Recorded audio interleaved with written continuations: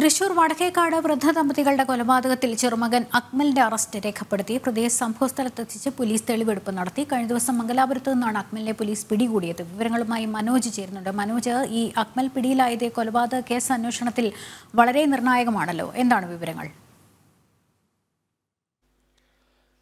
വടക്കേക്കാട് വൃദ്ധ ദമ്പതികളെ കഴുത്തറുത്തു കൊന്ന ശേഷം കടന്നുകളഞ്ഞ ചെറുമകനായ അക്മലിനെ കഴിഞ്ഞ ദിവസമാണ് മംഗലാപുരത്ത് നിന്നും പോലീസ് പിടികൂടുന്നത്. തുടർന്ന് നടത്തിയ ചോദ്യം ചെയ്യലിലാണ് അക്മൽ കുറ്റം കുറ്റം സമ്മതിക്കുന്നത്.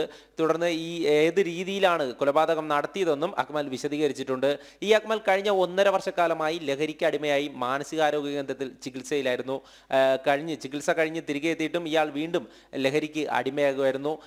ഈ ഒരു വിഷയവുമായി ബന്ധപ്പെട്ടാണ് അതായത് ലഹരിക്ക് വേണ്ടിയിട്ടുള്ള പണം നൽകണമെന്നാവശ്യപ്പെട്ടുള്ള തർക്കമാണ് ഈ ഒരു കൊലപാതകത്തിലേക്ക് പ്രതിയെ നയിച്ചിട്ടുള്ളത്.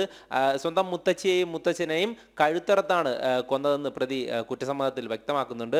അതോടൊപ്പം തന്നെ പ്രതിയെ ഇന്ന് സംഭവ സ്ഥലത്ത് എത്തിച്ച് തെളിവെടുപ്പ് നടത്തി തുടർന്ന് കോടതിയിൽ ഹാജരാക്കിയ ഈ അക്മലിനെ കോടതി റിമാൻഡ് ചെയ്യുകയായിരുന്നു.